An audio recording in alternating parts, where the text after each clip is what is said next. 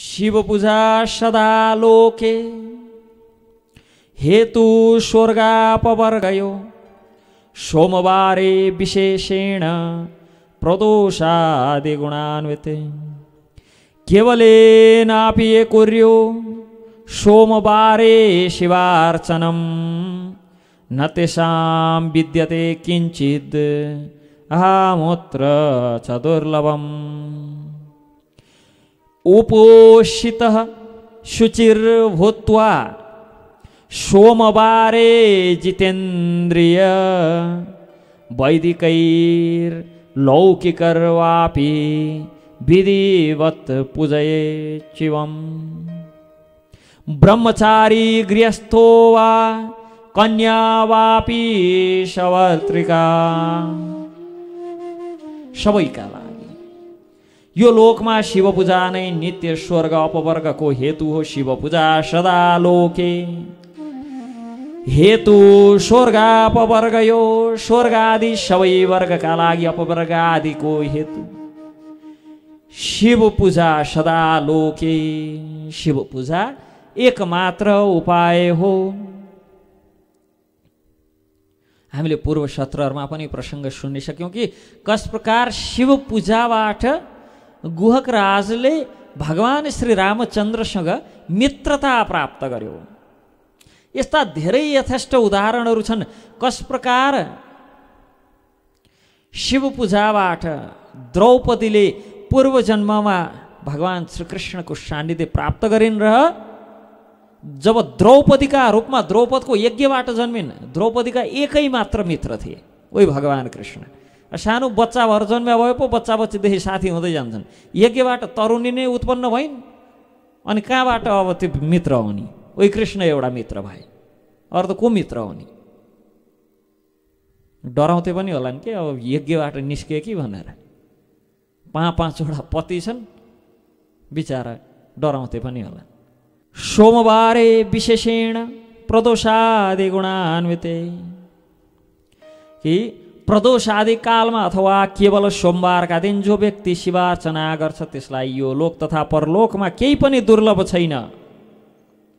त्यस्ता व्यक्तिका लागि कुनै पनि कुरा केवलेनापि कुर्यो सोमबारे शिवार्चनम सोमबारका दिन पारेर जसले शिवार्चना गर्छ त्यसका लागि कुनै पनि कार्य दुर्लभ छैन।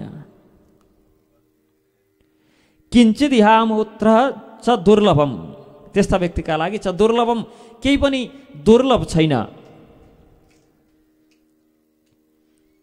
जितेन्द्रिय व्यक्ति उपोषित शुचिर भूत्वा सोमबारे जितेन्द्रिय चाहे जितेन्द्रिय हुन्।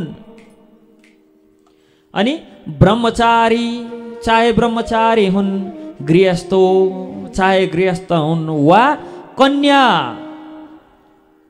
कन्या हुन् वा सभर्तिका विवाह गरेका सपत्नी सपति जुनसुकै अवस्थामा आओस् यदि सोमबार शिवको उपवास शिवका नाममा उपवास गरेर वैदिक अथवा लौकिक विधिअनुसार जुनसुकै विधिअनुसार शिव अर्चना गर्नाले इच्छित वर लाभ हुन्छ यस विषयमा। बडो मधुर इतिहास सुनाउँछु। यो सुनेर मुक्ति तथा साम्भवी भक्तिको लाभ हुन्छ भनेर श्रुतजी बताउँदै हुनुहुन्छ। कि एक समयको कुरा हो आर्यवर्ते नृप। आर्यव्रतमा एउटा राजा थिए एकजना श्रेष्ठ धार्मिक राजा थिए जसको नाम चित्रवर्मा। चित्रवर्मा नाम गरेका राजा दुरात्मा हेतु यमराज समान। यस्ता सुन्दा त बडो आश्चर्य लाग्छ अचम्म लाग्छ आजकल। कि शासक दुरात्माहरूका लागि यमराज समान रे। आजकल त शासक दुरात्माहरूका लागि एकदम परम हितैषी मित्र हुन्छन्। त्यही भएर पनि मान्छेले यी इतिहास पुराणका कुरा पत्याउनु छोडे कि? अब शासक दुरात्माका लागि चाहिँ यमराज समान थियो भनेपछि त कसैलाई पत्याउनै मन नलाग्ने। त्यस्तो पनि हुन्छ संसारमा भनेर। देखेकै छैन त्यस्तो भए हामीले। नपत्याउने। त्यो नपत्याउने खालका कुरा भयो कि? कसरी पत्याउने भन्ने लाग्छ। देख्नै पाएको छैन। शासकले दुरात्माहरूलाई दण्डित गरेर सन्तहरूलाई प्रोत्साहन गरेर कतै देख्नै पाएको छैन हामीले। देख्नै नपाएपछि यी पुराणका कुरा चाहिँ खोइ गफैला हो कि जस्तो लाग्ला मान्छेहरूलाई कतै भएको देखा भए पो यी हुँदो रहेछ है भन्ने लाग्थ्यो विश्वास लाग्थ्यो। आजकल त्यस्तो देखिँदै देखिन्न। चित्रवर्मा नाम गरेका राजा दुरात्माहरूका लागि यमराज समान थिए। मान्छे यमदेखि त्यति डराउन्थे जति राजादेखि डराउँथे। केही फट्याइ गर्नलाई दुष्ट्याइ गर्नलाई कपट्याइ गर्नलाई अपराध गर्नलाई यिनको नामैदेखि डराउँथे। राजाले थाहा पाउला भनेर। धर्म सेतुलाई गुप्त राख्ने कुपथ गामीगण जो कुपथमा हिँडेका छन् तिनलाई दण्डित गरिहाल्ने स्पष्टीकरण खोजिराख्ने होइन किन तैँले यसरी कुपथमा हिँडिस् है मूलबाट चौतारीमा बसेर किन तास खेलिरहेको भनेर सोध्ने होइन समातेर पहिला दण्डित गर्ने अनि त्यसपछि अब नखेलै भन्ने हो। कारण कहाँ सोधिराख्ने अनि त्यस्ता कुरा? यो त भ्रष्टाचार किन गरिस् भनेर सोधे जस्तो भ्रष्टाचार पनि किन गरिस् भनेर कारण सोध्ने? गरेपछि कारवाही पो गर्ने त। होइन यहाँ त हाम्रो त किन गरिस्? किन गरिस् होइन? मलाई नदिकन किन गरिस्? भनेर सोध्छन्। मेरो भाग नछुट्याइकन भ्रष्टाचार गर्ने त? मलाई कारवाही हुन्छ। कति गरिस्? मेरो कमिसन खोइ। मलाई कमिसन नदिने ल तँलाई ठेगान लगाउँछु। त्यस्तो होइन। कुपथगामीगणलाई शास्तिपूर्वक दण्ड दिने। दण्ड मात्र दिने शास्तिपूर्वक दण्ड दिने समस्त यज्ञलाई गराउने शरागतका त्राता सबै पुण्यकर्मका कर्ता सबैलाई सम्पत्ति बाँड्ने समस्त व्यक्तिहरूलाई प्रेम गर्ने र जेतास पत्न वृन्दान भक्त शिव मुकुन्द यो भगवान् सदाशिव शम्भो र भगवान् श्री मुकुन्दको श्रीचरणको आश्रयमा रहेका। भगवान् श्री मुकुन्दलाई परम भक्तिभावपूर्वक सेवा गर्ने यस्ता राजा थिए। अब आजकाल त शासन गर्ने व्यक्तिहरूमा बिल्कुल यसका प्रतिकूल यिनले जे जे गर्थे भनेको छ त्यो त्यो चाहिँ आजकालकाले गर्दैनन्। यज्ञ गर्ने। उहाँ एउटालाई टाउको दुखिरहेको थियो शिवलिङ्गमा दुध चढायो भनेर शासन गर्नलाई। नदीमा रगतको खोला बगाउन बानी परेकाहरूलाई दुध पोख्यो भनेर कम्ता चित्त दुख्या थिएन। दुई लिटर दुध आध्यात्मिक यो आध्यात्मिक महत्त्वतिर जाँदै नजाउँ। भौतिक रूपमै हेर। दुई लिटर दुध नदीमा खन्याए भन्दा गरिबको याद आउनेलाई बडो ती गरिब गुरुवालाई यो दुई लिटर दुध बाँडेदेखि भनेर एकदम भावनात्मक रूपमा भकानु फुटेर आउने हृदय विदीर्ण हुनेहरूलाई गाई काटेर खानुपर्छ भन्न छोड्दैनन् फेरि। जीवनभरिमा कति धेरै दुध दिन्छ त्यसले कति लिटर आउँछ दुध? सयौँ लिटर हुन्थ्यो। भन्ने त बुद्धि आउन्न। यस्तालाई भन्छन् दुर्बुद्धि बेवकुफ। मूर्ख नालायक। त्यहाँभन्दा ज्यादा हृदयमा त धेरै शब्दहरू एकदम उम्लिरहेछन् भन्न चाहिनँ मैले। अहिले तिनका अरेङ्गाल खोज्दै आउलान् फेरि कहाँबाट बोलिरहेको छ यो भनेर। जब दुई लिटर दुधको त्यत्रो माया लाग्ने त गाईको कति माया लाग्नुपर्ने हो झन्। अनि तिनै धुन्धुगारीहरू डुगुलन्टु भने त गाली नै होइन नि त्यो त माया प्रेम हो। त्यो धुन्धुगारीहरू हुन्। धुन्धुगारी पनि यिनका लागि शब्द कम हो। यी यिनलाई देख्दा त मलाई त्यो धुन्धुगारी बडो सम्मान आउँछ हृदयदेखि त्यो त्यो भागवतवाला धुन्धुगारीप्रति त। यति बिग्नै चाहिँ थिएन होला के त्यो पनि? गाईले झन् कति दुध दिन्छ होला जीवनभरमा? भनेपछि त त्यो दुई लिटर दुधको माया लाग्नेहरूलाई गाईको कति माया लाग्नुपर्ने भनेपछि त्यो दुई लिटर दुध र गरिबको माया लागेको होइन कि? त्यो विधर्मीहरूको अलिअलि नमक खाइया छ। अनि यो ती विधर्मीहरूको नुनको सोझो गरेको। त्यति त बोल्नु पऱ्यो नि त। खाएपछि ऊर्जा आउँछ ऊर्जा कतै त अब देखाउनु पऱ्यो। अब स्वामी भक्ति। यो दुई प्रकारका भक्ति हुन्छन्। एउटा बा भक्ति अरू एउटा बाउ भक्ति अर्का साउ भक्ति। बाउको भक्ति चाहिँ बाउले खुवाइन्जेल मात्र आउँछ अरे। त्यस पछाडि साउ भक्ति आउँछ। किन? साउले खुवाउनु लाग्छन्। त्यो धुन्धुकारीहरू साउ भक्तिवाला हुन्। बा साहेब जाँसुकै जाउँ। धर्म र धरतीप्रति धर्म पिता समान हुन्छन् धरती माता समान हुन्छन् यी माता र पिता हुन् धर्म र धरती भनेका। यताको भक्ति खासै आउन्। ती त दाताको भक्ति आउँछ। माता पिताको भन्दा पनि दाताको अलि ज्यादा भक्ति गर्नेहरूलाई त्यो गाई त्यो दुधप्रतिको र ती गरिबप्रतिको प्रेमले त्यो पनि कहाँ सोमालियामा खान नपाएको बच्चाको फोटो राखेर अनि यतापट्टि शिवलिङ्गमा दुध चढाइरहेको फोटो राखेर यहाँ चढाउनुको सट्टा उहाँ दिनु भनेर लेखेर आउँछन्। अब दुई लिटर दुध बोकेर म सोमालिया जाउँ? बडो अचम्म लाग्छ। अब यही दिने कुरामा त त्यो धुन्धुकारीहरूले भन्दा त हामीले ज्यादालाई नै बाँडिरहेछौँ तिनले त उही गफै मात्र हुन् हामीले त दुधै बाँडिरहेछौँ र तिनले के कुरो बुझ्दैनन् भन्दा गाईको संरक्षण गर भने दुध बाँड्न पाइन्छ भन्ने बुझाएनन्। गाई काट्न पाउनुपर्छ पनि भन्छन् अनि दुध बाँड्नुपर्छ भन्ने पनि छोड्दैनन्। यसलाई भन्छन् द्वैत चरित्र दोग्लापन। र ठ्याक्कै पाखण्डी भन्ने शब्द छ नि यिनीमा चाहिँ टक्रक्कै लागु हुन्छ फिट एकदम। नाप जाँच गरेर बनाएको वाला पाखण्डी भन्ने शब्द यिनीहरूका निधारा ट्याक्रक्कै मिल्छ राखिदियो भनेदेखि। कुनै दिन समातेर ट्याटु खोप्दै हुन्छ टाउका। पाखण्डी भनेर। दुई जिब्रे भनेर। र यी राजा चित्रवर्मा नाम गरेका राजा बडो धर्मात्मा पत्नीबाट महातेजस्वी अनेक सन्तान प्राप्त गरे छोराहरू अनेक भए।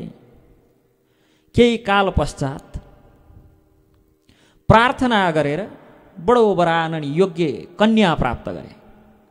अब यहीँ पनि हामी त ट्याग लागेर हिँडेका व्यक्ति। वैदिक सनातन धर्म संस्कृतिका अनुयायीहरूले छोरीहरूलाई बडो हेप्छन्। छोरै मात्र चाहिन्छ तिनलाई बिचरा यी राजा धर्मात्मा राजा चाहिँ छोरा मात्र भयो भनेर प्रार्थना गरेर तपस्या गरेर छोरी जन्माइरहेको थिए यो देख्दैनन् ती द्वन्द्वकारीहरूले। शब्द चयन गर्न नि बडो गाह्रो हुन्छ कि यिनलाई गाली गर्ने बेला त।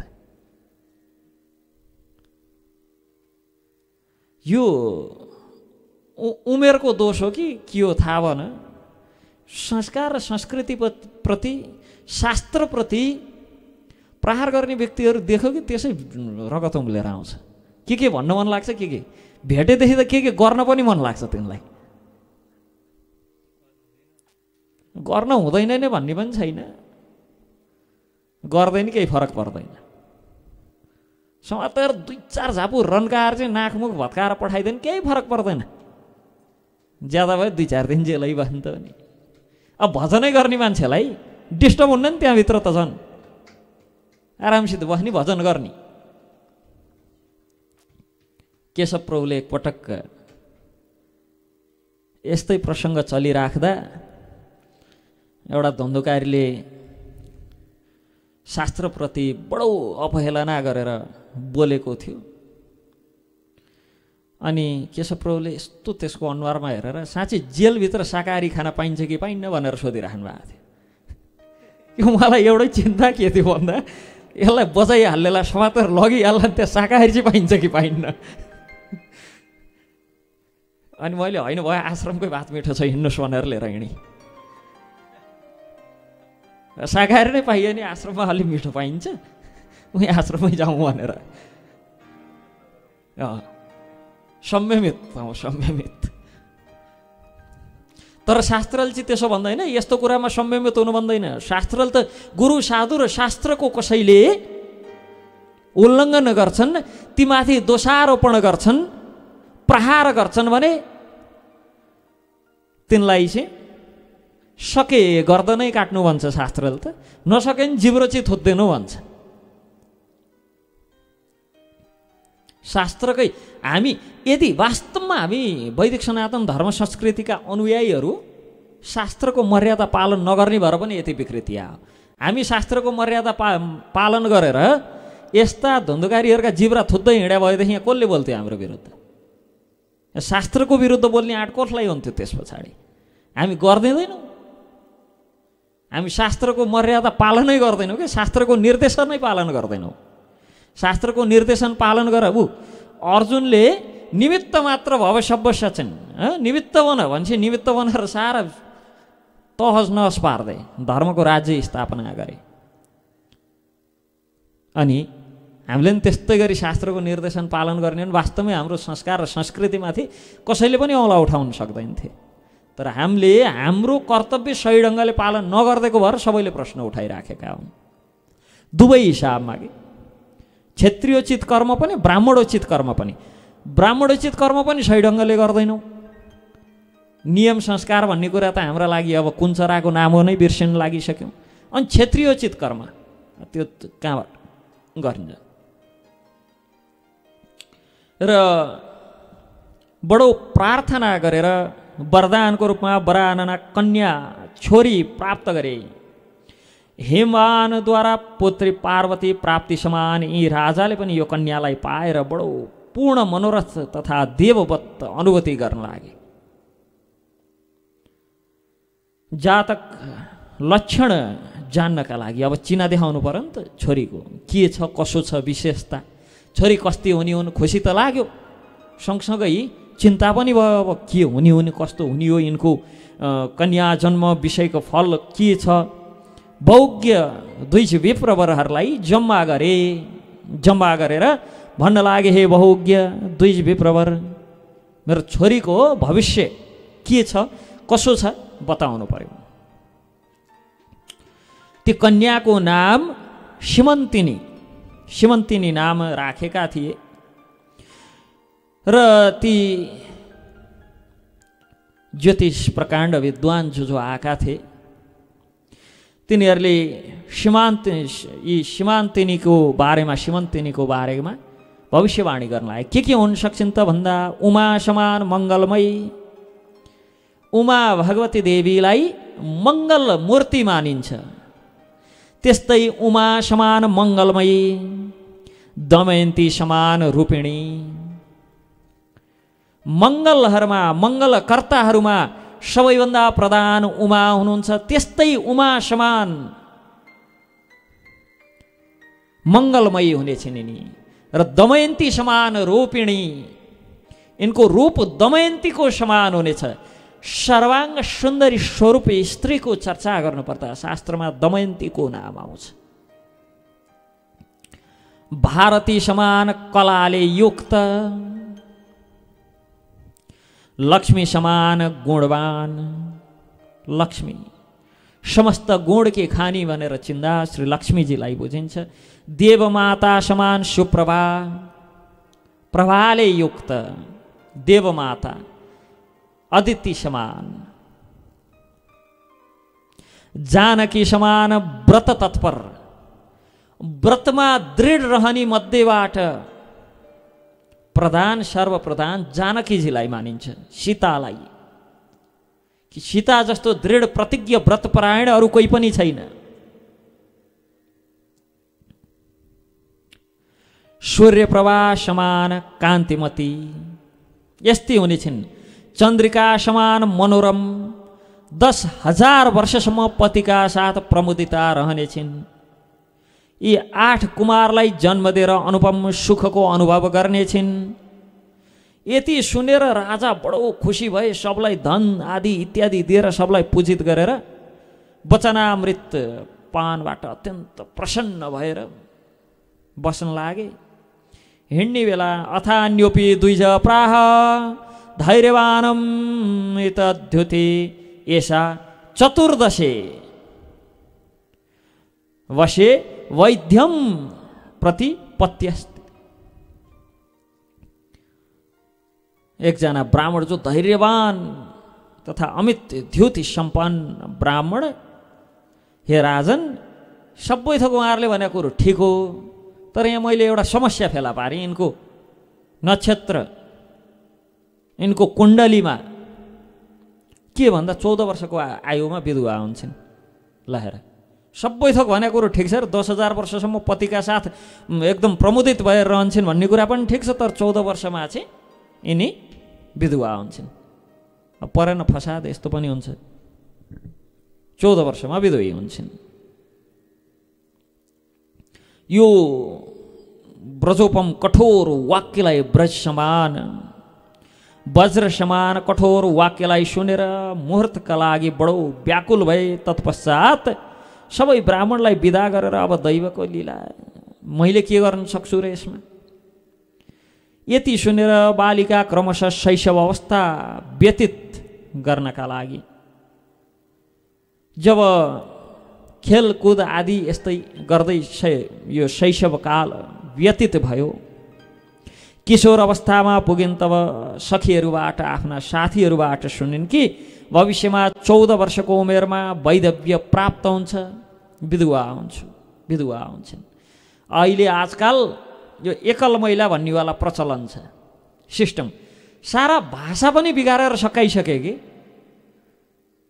एकल महिला कोही विधवा हुँदैमा एकल महिला हुन्छ। छोरा हुन्नन् तिनका बाआमा हुन्नन् सासु ससुरा हुन्नन् दियोर जेठाजु हुन्नन् एकल हुन्छन्।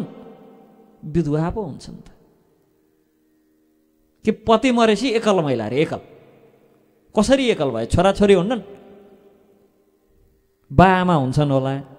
एकल हुनु त एक्लै हुनु पऱ्यो नि। सबै सत्यानाश पारिसक्यो भाषाको पनि।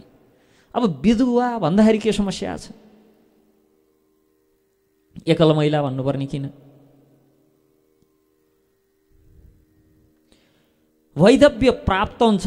यो सुनेर निर्विण्ण मनबाट विचाररत भइन् र यज्ञवल्के मुनिकी पत्नीसँग गएर यस सम्बन्धमा चर्चा गरिन्। कि हे माते म हजुरको चरण कमलको आश्रय लिन्छु। अत्यन्त भयभीत छु मेरो सौभाग्य वृद्धिको केही उपाय बताउनुहोस्। चौध वर्षमा विधवा हुनका लागि त त्योभन्दा अगाडि नै बिहे हुनु पर्यो अब।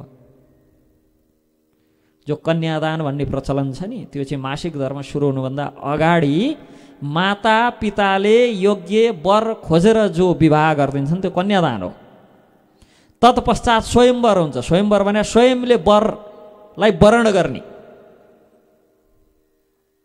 आजकल हाम्रो कन्यादान स्वयम्वर सबै एउटै बिहेमा हुन्छ।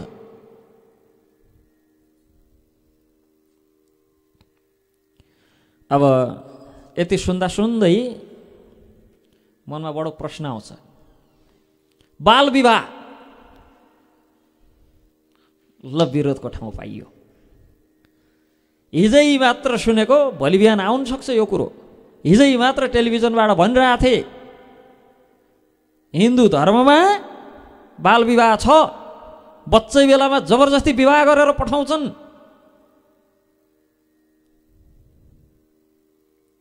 छ विवाह बाल विवाह नै हुन्छ हाम्रोमा। बालक कालमै विवाह हुन्छ तर पुरुषलाई पच्चिस वर्षसम्म गुरुकुलमा बस्नुपर्छ। दस बाह्र वर्षको उमेरमा विवाह हुन्थ्यो। यही प्रसङ्गमा पनि आउँछ यिनको विवाह पछाडि बिचरा ज्वाइँ साहब घर ज्वाइँ बसेका थिए। बेला बेला आउँथे श्रीमतीकै माइतीमा आफ्ना ससुरालीमा बस्थे फेरि जान्थे। राजपुत्र थिए। यस्तै बच्चा बेला दस बाह्र वर्षको उमेरमा यसरी मित्रता कायम हुन्थ्यो। आखिर घर जाने भनेको त पति पच्चिस वर्ष नपुगी घर जाने कुरो भएन। त्यो त त्यतिखेरसम्म त ब्रह्मचार्यमा रहनु पऱ्यो नि त।